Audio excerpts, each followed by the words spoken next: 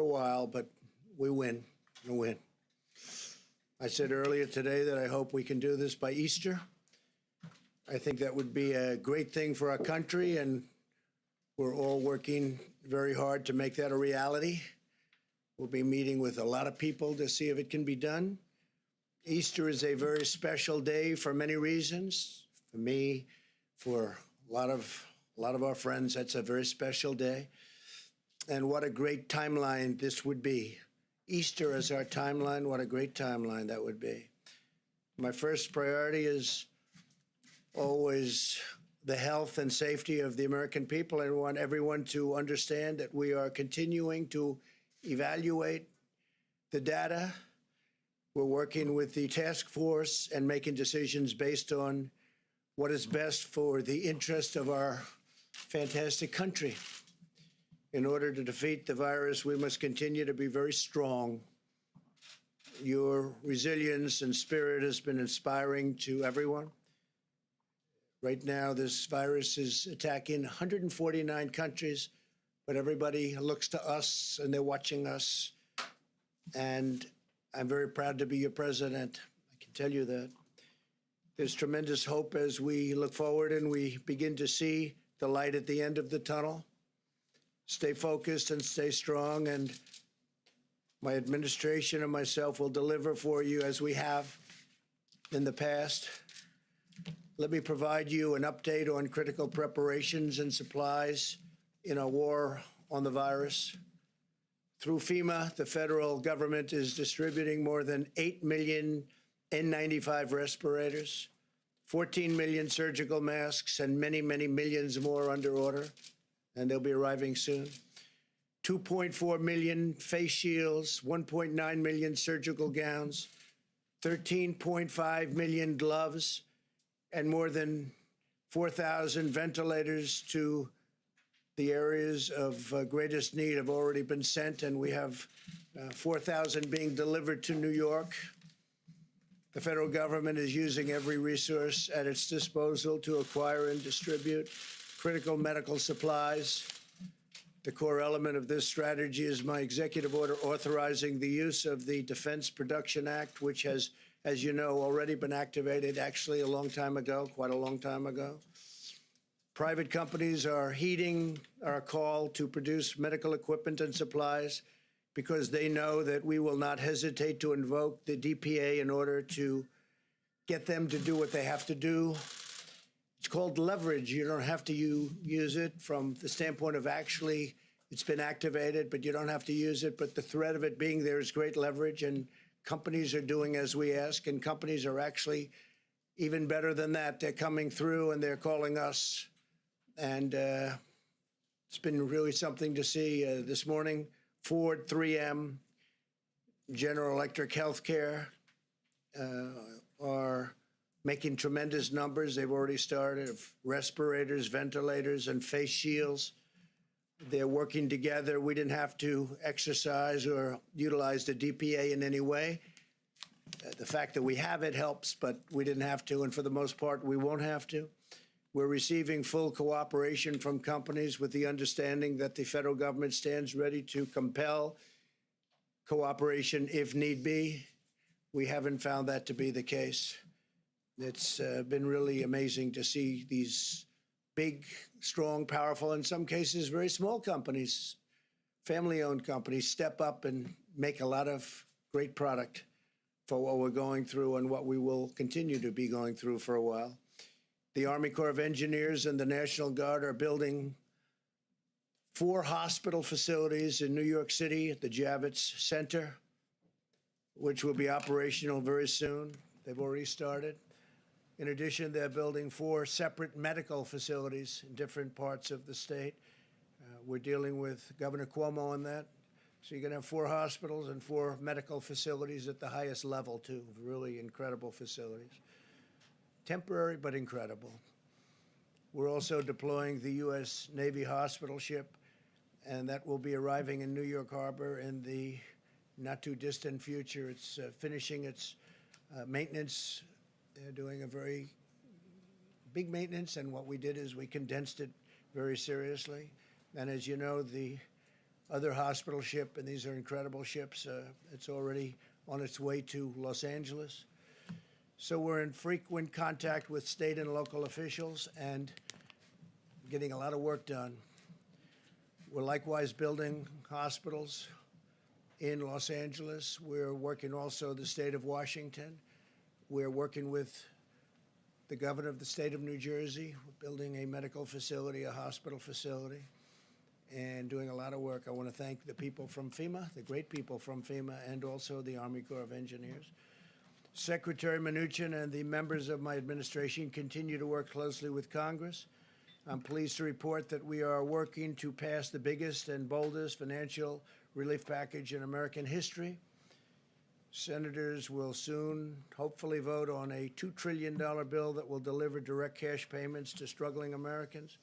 No fault of their own. This came out of nowhere. Nobody can imagine this even happened, but it's not their fault.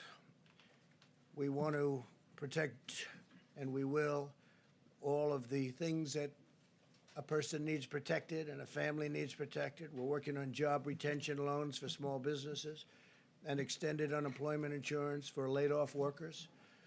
The legislation will also include billions of dollars for additional resources for our, and really heroic, these are incredible doctors, nurses, brave, and hospitals, as well as support for hard hit industries such as the airline industry and the cruise ship industry, which employ tremendous amounts of people and obviously serve very important functions beyond that with very tough protections for the American taxpayer.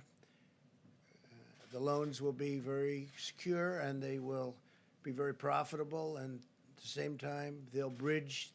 They call them bridge loans in many cases. They'll be bridging uh, these companies back into very good health. And some of them are very important companies that four weeks ago didn't have a problem. I'm also confident that the Democrats will do the right thing. I feel very confident. They're working very hard together right now, Republicans and Democrats, and they're getting very close to a very fair deal and a great deal for the people of our country.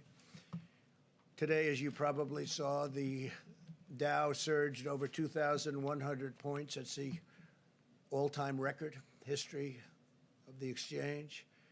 This is very encouraging, and I think part of the reason is they are looking at what is close to being passed, and I think a very big part of it is they see that we want to get our country open as soon as possible. They see we're working very hard on that. That's a very big factor, I think, in today's uh, historic gain.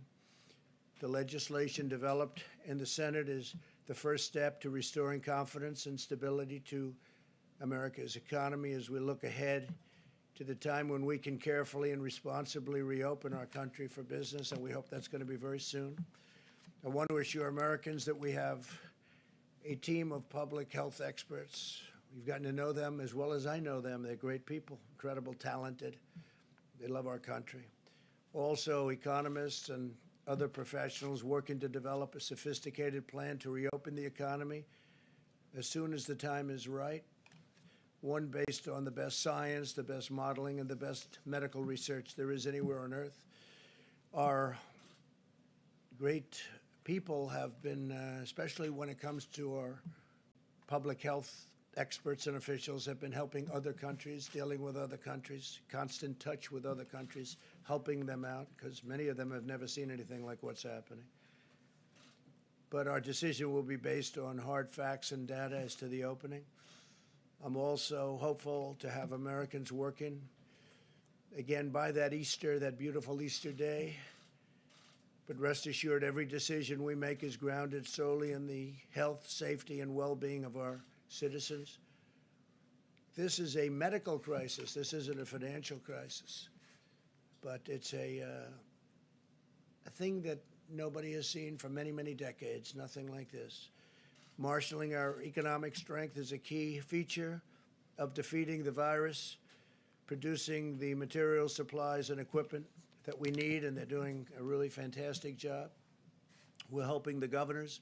We had a conference call the other day with the governors, and uh, we allowed the press to join us on the call, and the spirit between us and the governors has been really great. Uh, we should never be reliant on a foreign country for the means of our own survival. I think we've learned a lot. We've learned a lot. This crisis has underscored just how critical it is to have strong borders and a robust manufacturing sector.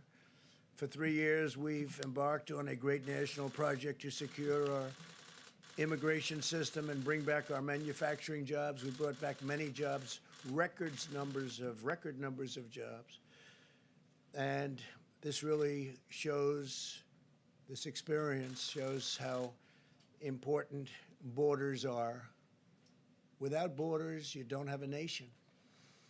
Our goal for the future must be to have American medicine for American patients, American supplies for American hospitals, and American equipment for our great American heroes. Now, both parties must unite to ensure the United States is truly an independent nation in every sense of the word. Energy independence, we've established that. And something incredible that we've established. We're energy independent, manufacturing independence, economic independence, and territorial independence enforced by strong sovereign borders. America will never be a supplicant nation. We will be a proud, prosperous, independent, and self reliant nation. We will embrace commerce with all, but we will be dependent on none. Above all, we know that the best thing for our economy and the world right now is a very, very powerful victory over the virus. Every day, the American people are showing the unity and resolve that has always defined the character of our nation. In New York, citizens are using 3D printers to make hundreds of face shields. They're making them by the hundreds. In Texas, businesses and churches are uniting to collect gloves and thermometers for hospitals. In the selfless actions of our amazing citizens, we're seeing enduring strength of our magnificent nation a spirit that can never be broken, and a victorious future that can never be denied. It never will be denied.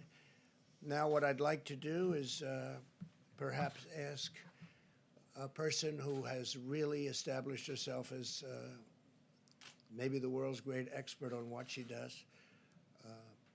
If I could ask Deborah to come forward and say a few words, and then I'll ask uh, Tony to come up and speak, and then our vice president, and then we'll take a few questions, and we'll do it quickly, and uh, we'll probably see you again tomorrow. So, Deborah, please. Thank you. Thank you, Mr. President. Um, I think those of you who heard the town hall, we are continuing to accelerate testing at a record rate. Um, we now have 370,000 tests that have been done. Um, the majority of those, over 220,000 in the last eight days, which those of you who have been tracking the South Korea numbers, put us equivalent to what they did in eight weeks that we did in eight days.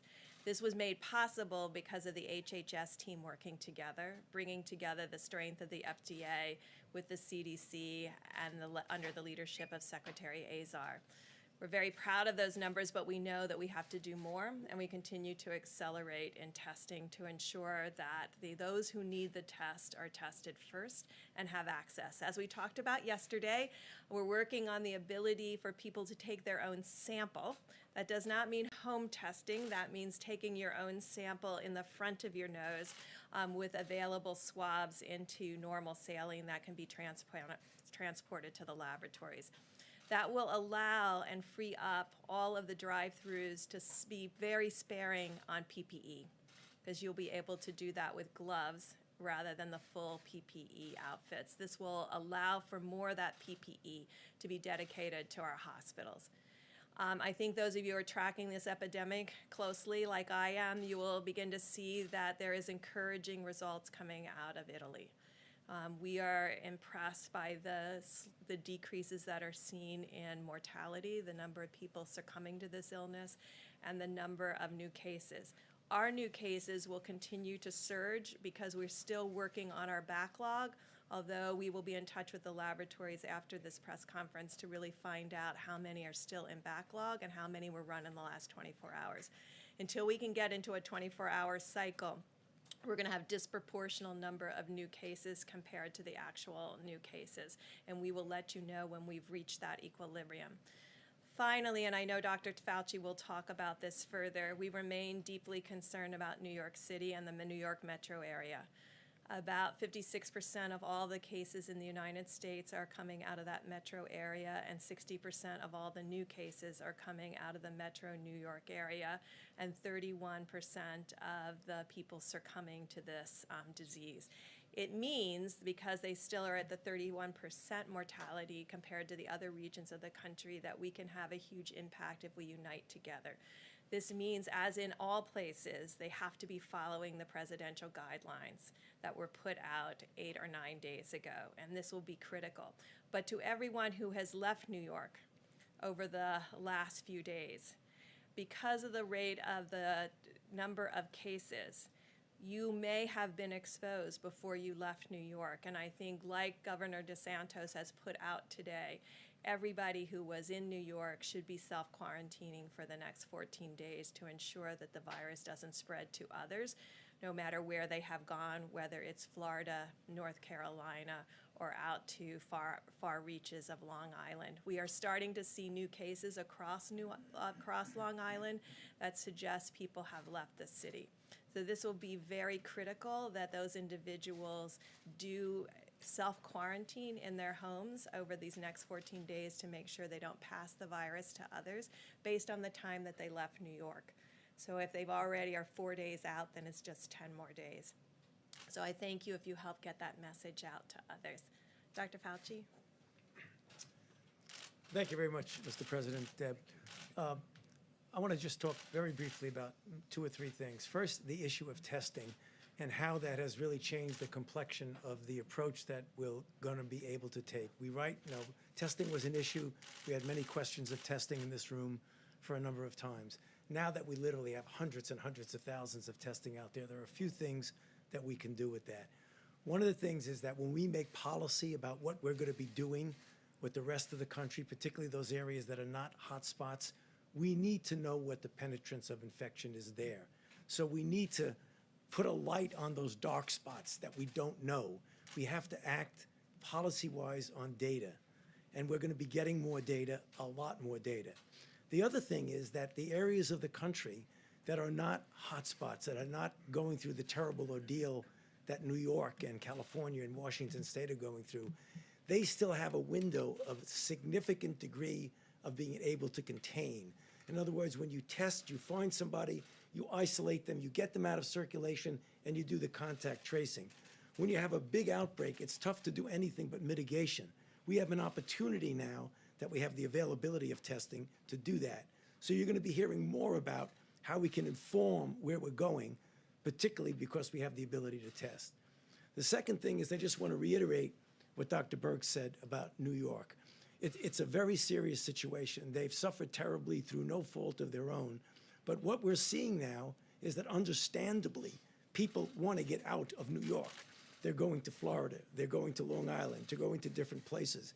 The idea, if you look at the statistics, it's disturbing.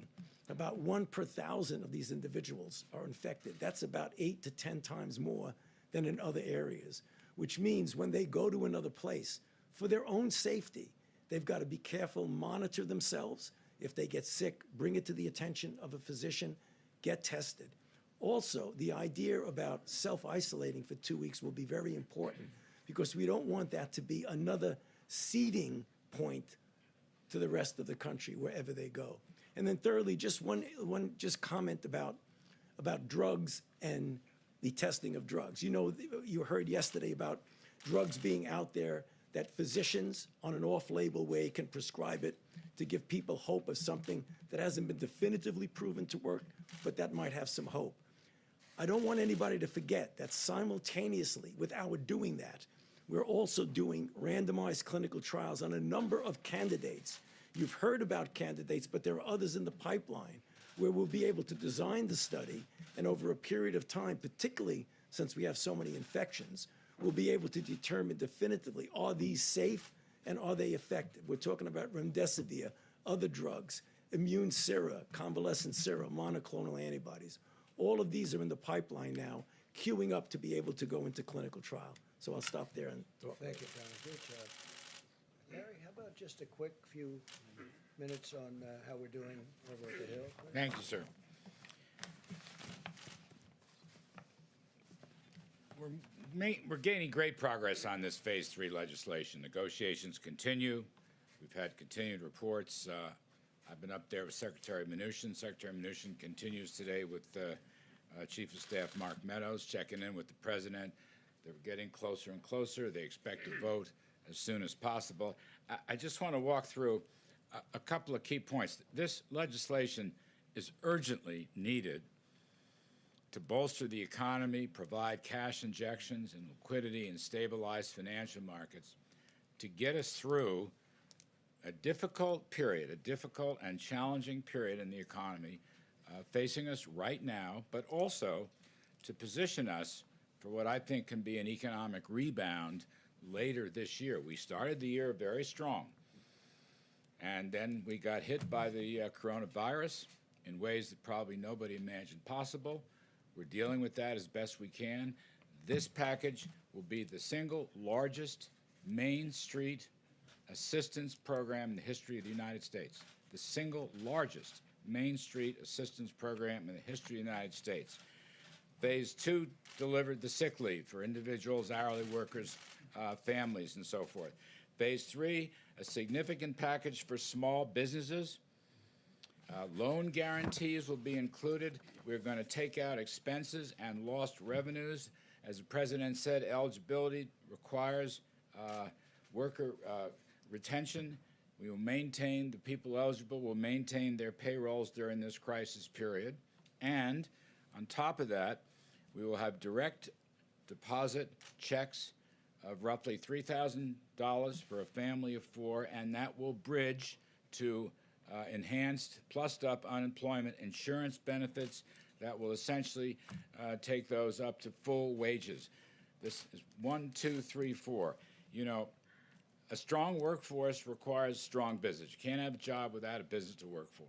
And the hope here is that the companies that were operating very well at the beginning of the year when the economy was in good shape, we will help them and their employees get through this tough period so they will come out the other side, let's say this uh, later this spring or summer, and will continue their operations. That's the key point. Now, don't forget, there's income tax deferrals for individuals and corporations without interest and penalties. There's student loan interest and principal deferrals without any penalties.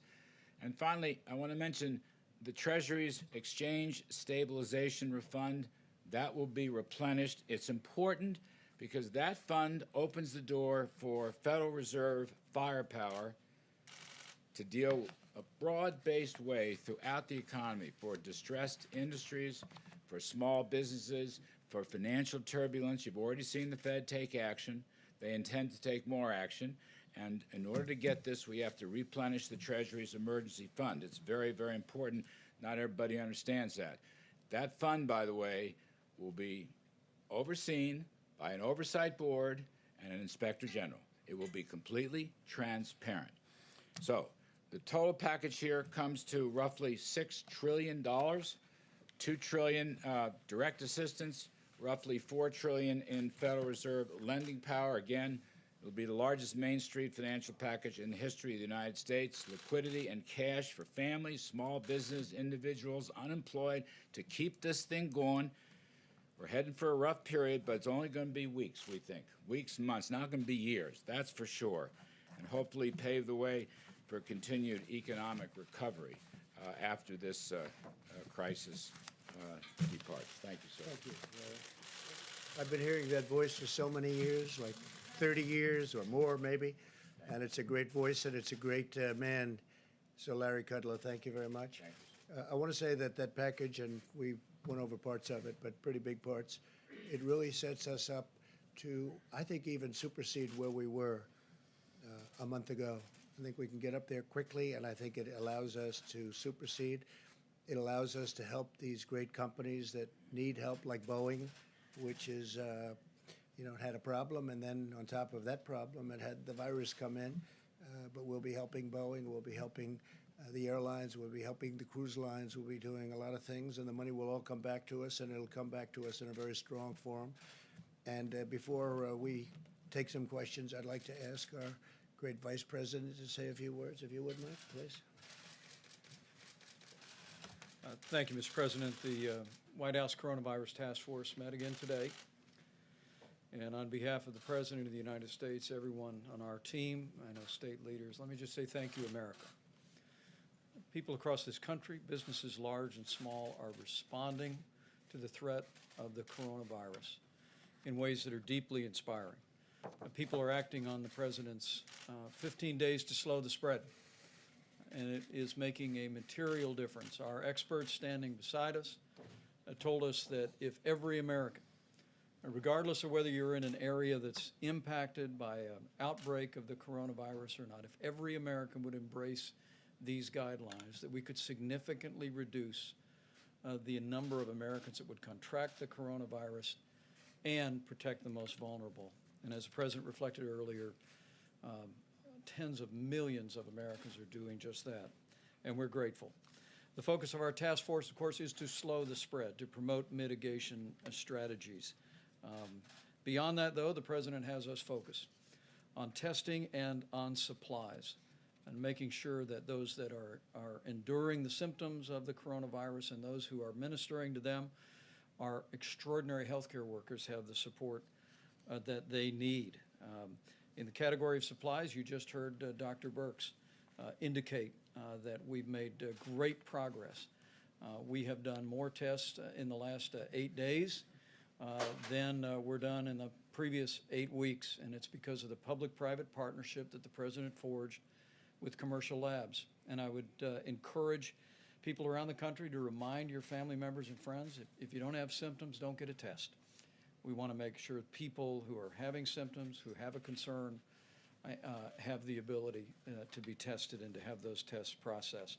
We're continuing to urge all county hospitals, uh, all labs around the country to report to the CDC all the results of the test, as it'll give uh, these experts around us the ability to continue to advise the president on best practices. Um, uh, As I mentioned, we, we all continue to follow uh, this- the uh, outbreak around the country and the test results. But as several have mentioned, uh, we're particularly focused on, on New York. Uh, The reality is, the New York metro area was 60% of the new cases uh, in the country.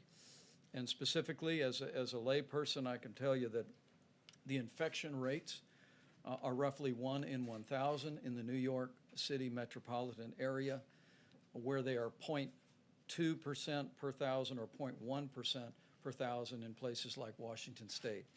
Uh, It is the reason why today the White House Coronavirus Task Force is calling on uh, any American, first and foremost, if you're in the New York uh, City metropolitan area or elsewhere, to take the guidelines that we issued and uh, avoid non-essential travel.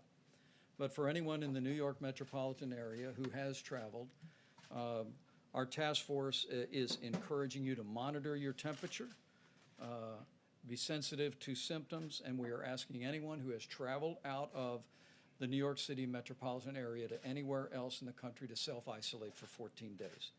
Uh, We have to deal with the New York City metropolitan area as a high-risk area. Uh, And for that reason, we're, uh, we're taking these steps uh, and asking for the cooperation of the American people. Because of the spread in New York City, we will continue to surge resources. The President has described this. Uh, FEMA is coordinating with New York State for the arrival of the USS uh, Comfort in just a matter of a few short weeks. Uh, Over the next 24 hours, more than 4,000 uh, additional ventilators will be delivered to New York State as well. Uh, New York State has prioritized three alternative medical facilities, and at the President's direction, the Army Corps of Engineer is working on plans to build those facilities out. You've heard the President speak about the Javits Center, the addition of 1,000 beds, and will continue. I want the people of New York City and, and the greater New York City area to know that we're with you. We're going to continue to provide resources uh, to, to support uh, your state and local officials as they confront the spread of the coronavirus in that great city. Uh, On the subject of supplies, uh, we had uh, team meetings today at FEMA. Uh, which is working on identifying the critical um, personal protective equipment and ventilators. Uh, At this point, FEMA informs us today that they are distributing 7.6 million N95 respirator masks, more than 14 million surgical masks, uh, and FEMA has already shipped 73 pallets of personal protective equipment to New York, 36 pallets of personal protective equipment to the state of Washington. We'll be meeting again tonight. Uh, As you know, the president stood FEMA's National Response Center up, and they are in the lead for the, the, the approach to the coronavirus, which is locally executed, state-managed, and federally supported. And we'll continue to surge those resources and make sure that they're available. Uh, One last word, if I may. The president reflected on the response businesses around the country have brought uh, to this uh, moment. It truly is extraordinary.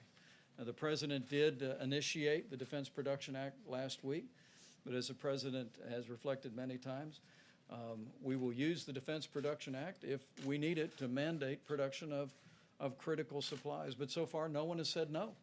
Uh, And in fact, we see industries stepping up. President mentioned Ford Motor Company working with 3M and GE Health to expand production of medical supplies. We heard that McDonald's is now offering curbside delivery to truckers who are unable to use the drive-through uh, to pick up a Big Mac.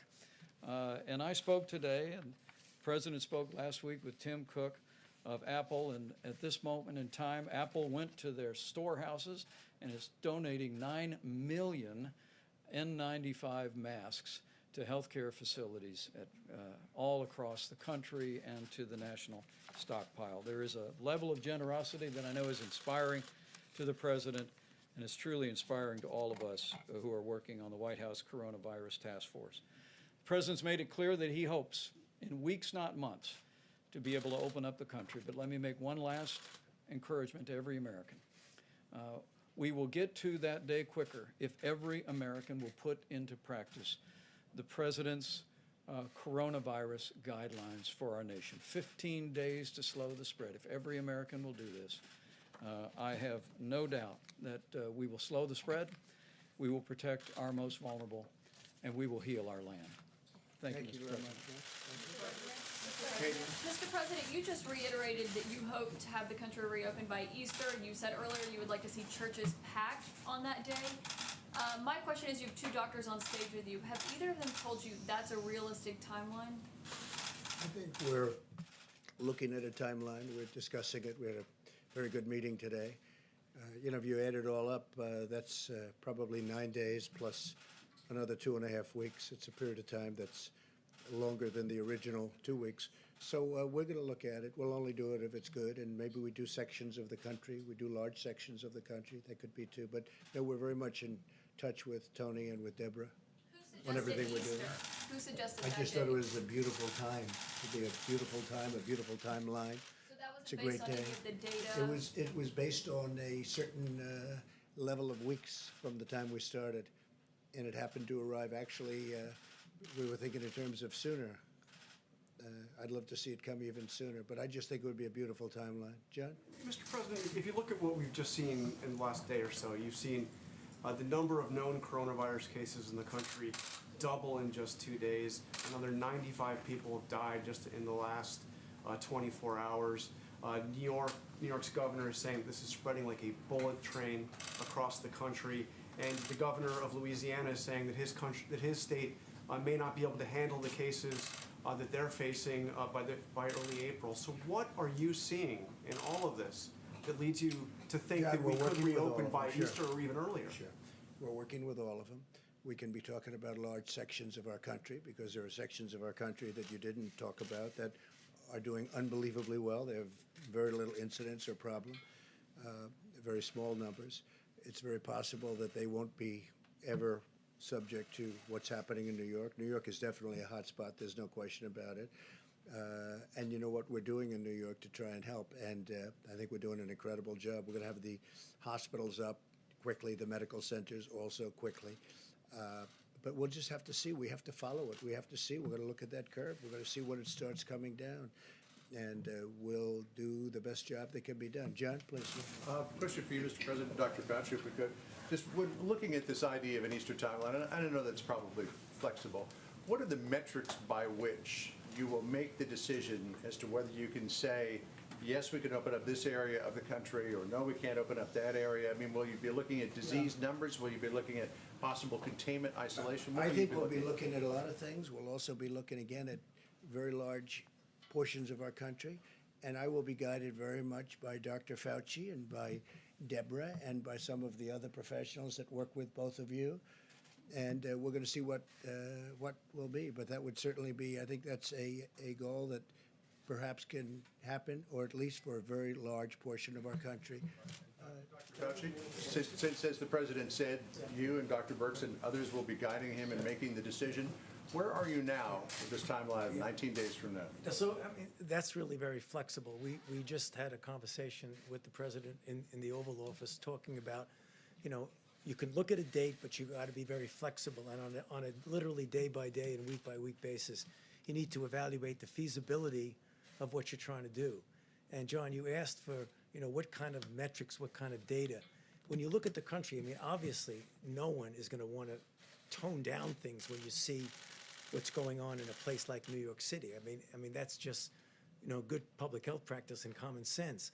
But the country is a big country, and there are areas of the country, and I and I refer to this in my opening remarks, that we really need to know more about what the penetrance is there. So if we do the kind of testing we're doing, and testing will always be associated by identification, isolation, and contact tracing, and you find after a period of time that there are areas that are very different from other areas of the country.